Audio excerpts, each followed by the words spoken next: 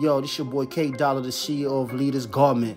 Today we're gonna be customizing for a special one, black Air Force Ones with a matching pants, the off-white theme, camouflage, the African colors. You already know what it is, man. Let's get it popping. Hey, studio.